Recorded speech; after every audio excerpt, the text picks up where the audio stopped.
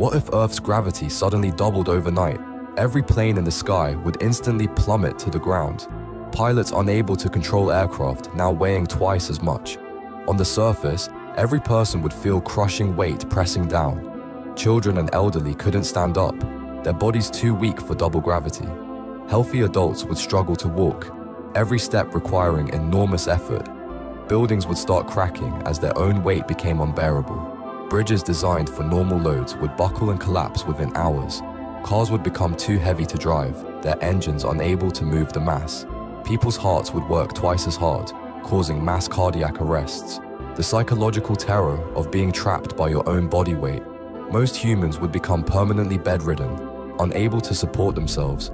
Hospitals would overflow with people who simply couldn't move. Within days, civilization would completely collapse as infrastructure fails and humanity becomes immobilized.